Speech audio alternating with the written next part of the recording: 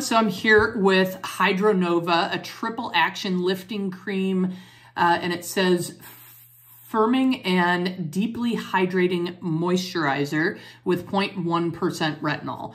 Um, I absolutely love this stuff. I've been using it uh, for about a week and a half now uh, since I got it. That's what it looks like. Um, it's kind of hard to tell on the camera, uh, but it's a very thick um, substance uh, thick moisturizer. Um, and it's fabulous for PM moisturizing. So what I do, I go in a circular upward motion when I put it on.